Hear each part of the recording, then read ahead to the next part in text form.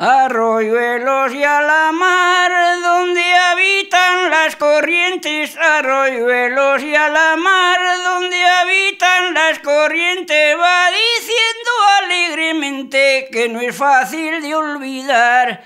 Tristes mares afligir, eres de tener piedad, detuvo el Creador a su amante imaginal, a su amante imaginal.